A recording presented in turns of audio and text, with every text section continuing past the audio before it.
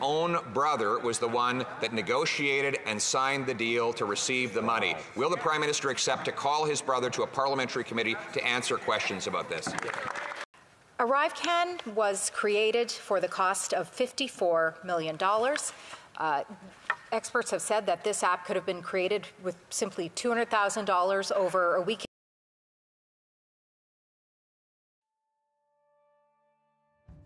Since Justin Trudeau took office in 2015, his government has faced several controversies that have shaken the Canadian political landscape. Elbowgate Incident In 2016, Trudeau was involved in a physical altercation on the floor of the House of Commons with opposition MPs during a debate over a controversial assisted dying bill. That the Liberals had cut off debate. Now watch this. The man in the front is the Conservative whip. He can't get by a group of NDP MPs, including leader Tom Mulcair. On the left, the Prime Minister comes striding over to intervene. He has words with Mulcair. At the same time, he clearly also makes contact with MP Ruth Ellen Brosseau. Trudeau walks away. The Norman Affair. Vice Admiral Mark Norman was charged with breach of trust for allegedly leaking government secrets, but the case was ultimately dropped. It raised questions about political interference in the judicial system. It's just to get to court, get this dealt with as quickly as possible and get back to serving the people of Canada. The ship is there, the workers are there, it's an important project, and it has to move forward as planned. The feds backtracked and quickly approved the contract, but furious over the leak, they ordered the RCMP to investigate. Enter Vice Admiral Mark Norman, the military's second in command.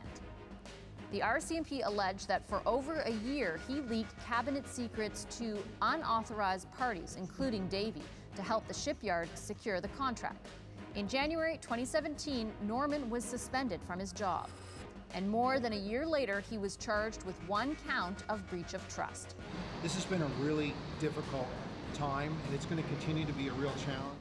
Norman vehemently denies any wrongdoing, but the case has led to many questions. Why did the Conservatives change the rules around procurement? And why were the Liberals hesitant to let Davy have the contract?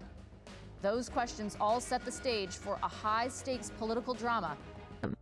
SNC Lavalin Scandal One major scandal involved the SNC Lavalin affair, where Trudeau was accused of pressuring his former Attorney General to intervene in a criminal case against a Quebec based engineering firm. Legal fight finally over. SNC's construction division pleaded guilty to fraud. It now admits it paid millions to Saadi Gaddafi, the son of former Libyan dictator Muammar Gaddafi, to try to win contracts. Now, the company will pay a $280 million penalty and spend three years under probation. The Crown insists it's not a slap on the wrist. I challenge everyone to find uh, a fine that is higher than that for a criminal offense by a company. Charges of corruption against the main company were withdrawn, so SNC Lavalin won't be barred from bidding on public contracts, which had been its worst case scenario. We Charity Scandal Another significant controversy was the We Charity scandal, in which the government was criticized for its close ties to the charity and alleged conflicts of interest in awarding it a lucrative contract for a youth volunteer program. I made a mistake in not recusing myself immediately from the discussions, given uh, our family's history. And I'm sincerely sorry about not having done that. We know that Justin Trudeau is uh, only sorry when he gets caught, and, and that's what the apology was all about today. The blackface incident. Furthermore, Trudeau's past incidents of wearing blackface and brownface were highly condemned, leading to accusations of racial insensitivity and a breach of trust.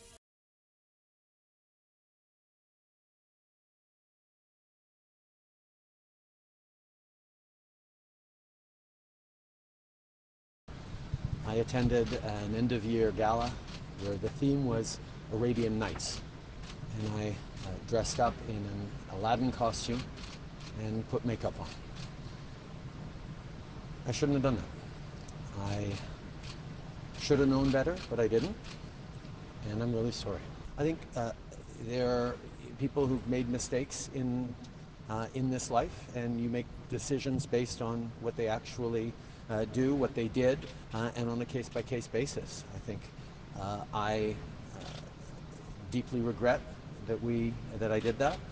I should have known better. Aga Khan controversy. Additionally, there was the Aga Khan controversy, where Trudeau was found to have violated federal ethics laws by accepting a family vacation on the private island of the Aga Khan, a billionaire philanthropist and spiritual leader. Transparency rules exist for a reason. Not only did the Prime Minister accept an illegal trip to a private island, he went there and received additional gifts from someone who is actively lobbying the government. Those are the facts. So will the Prime Minister come clean and tell Canadians did he return those illegal and unacceptable gifts before he could be lobbied again? Lobbying registry, that they were set up to lobby the government.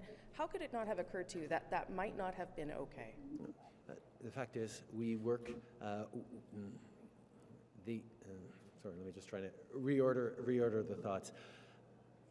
We um, worked with uh, the the uh, lobby conflict of interest commissioner uh, on a regular basis on a broad range of issues uh, when the issues come up.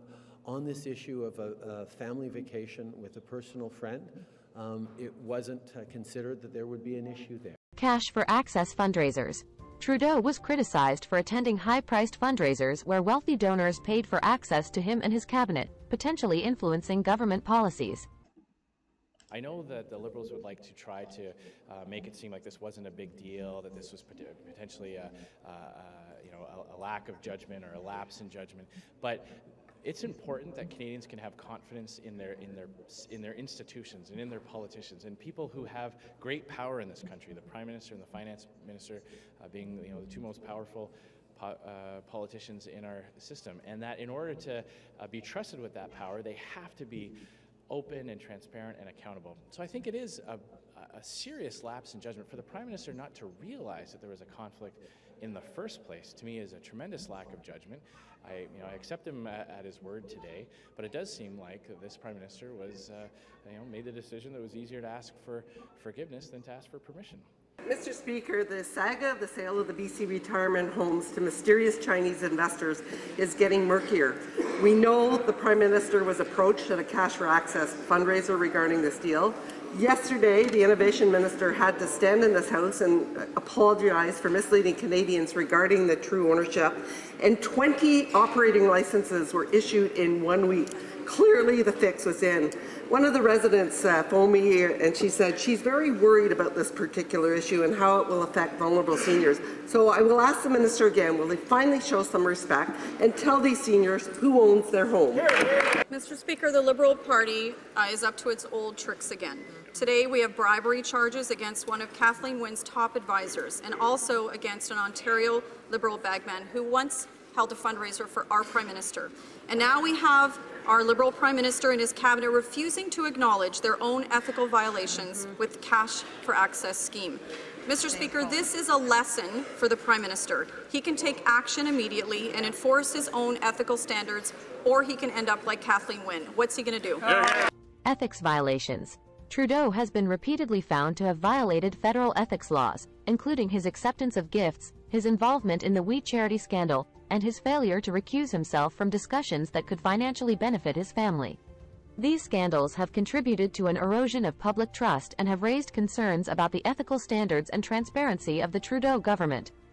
Well, it's definitely a family business for this prime minister, whether it was the We Charity paying his brother and mother money, the prime minister claiming to know nothing about it as he handed a half billion dollars over to that organization, or the Trudeau Foundation, which got $140,000 from the dictatorship in Beijing for the specific purpose of influencing his decisions in politics. But now we know that his brother his own brother was the one that negotiated and signed the deal to receive the money. Will the Prime Minister accept to call his brother to a parliamentary committee to answer questions about this?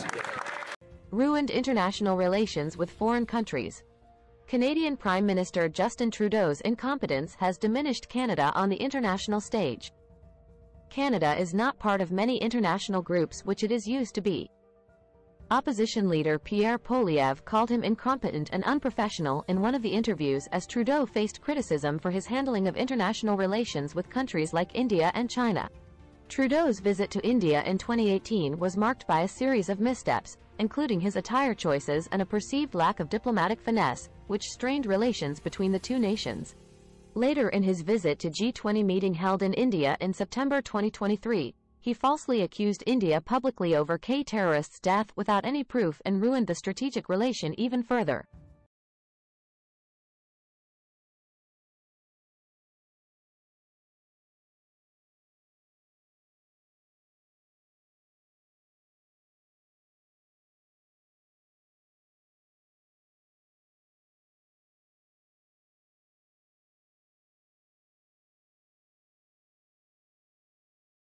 Additionally, his government's stance on human rights issues and the arrest of Huawei executive Meng Wanzhou caused tensions with China.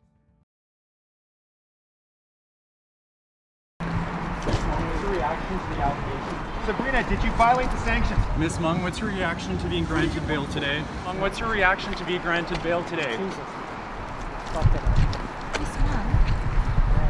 Ms. Meng was uh, given uh, a, uh, a, hearing immediately. Uh, she had, it was uh, the full, open, transparent nature of our judicial system. She was granted bail. She is now in her own home in Vancouver. Later, there was another issue with Chinese interference in Canada's government also caused a lot of frustration among Canadians.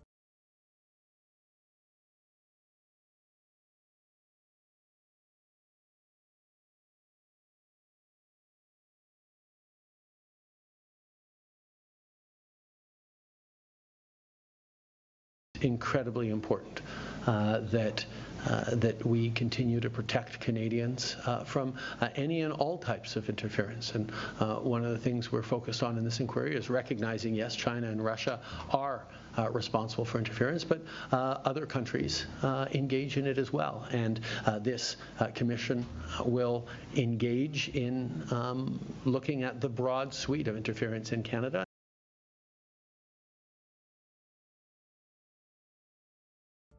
While it's essential to acknowledge that international relations are multifaceted, Trudeau's approach in these instances was perceived as inadequate, which contributed to strained ties with India and China, and raised concerns about Canada's diplomatic effectiveness on the global stage. The $54 million ArriveCan app scandal sent shockwaves through the Canadian political landscape, unraveling a narrative of financial mismanagement and alleged corruption. The controversy, which emerged in the fall of 2023, exposed a series of irregularities surrounding the development and implementation of the widely touted mobile application intended to facilitate border crossing procedures. Imagine a Lifetime movie. Imagine a Lifetime movie that includes the elements of identity theft, forged resumes, contractual theft, fraudulent contracting, and collusion.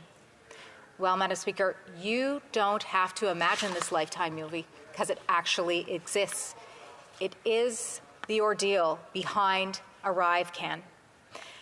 ArriveCan was created for the cost of $54 million. Uh, experts have said that this app could have been created with simply $200,000 over a weekend, but instead, $54 million, Madam Speaker, was spent on this app. And of that $54 million, $11.2 million, Madam Speaker, went to a company called GC Strategies, and $4.3 million, Madam Speaker, went to two companies called Coradix and Dalian. And I'll add that um, these companies actually have received $80.3 million from the federal government over, uh, over a significant uh, period of time. So it's, uh, it's very concerning that, uh, that these companies would receive these large amounts of funding for this $54 million. Despite these challenges, the Trudeau government has continued to govern with the support of NDP, but these scandals have left a lasting impact on the public's perception of the administration. His approval rating has nosedived drastically, and Canadian public is anxiously waiting for the next election in October 2025. Trudeau government scandals is really a troubled legacy that will go down in Canadian history.